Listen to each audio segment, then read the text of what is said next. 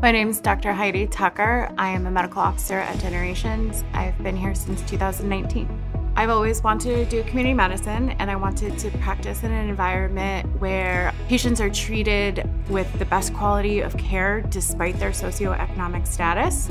And I also wanted to be in a place where we had a supportive leadership team. I recommend Generations to any physician or APRN because we have a great organization. We work really well together as a team. And it's a great place to just grow and strengthen all of your clinical skills.